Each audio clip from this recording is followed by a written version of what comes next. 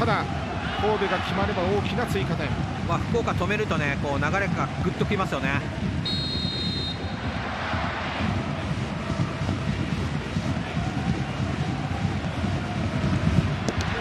大迫が決めて貴重な2点目。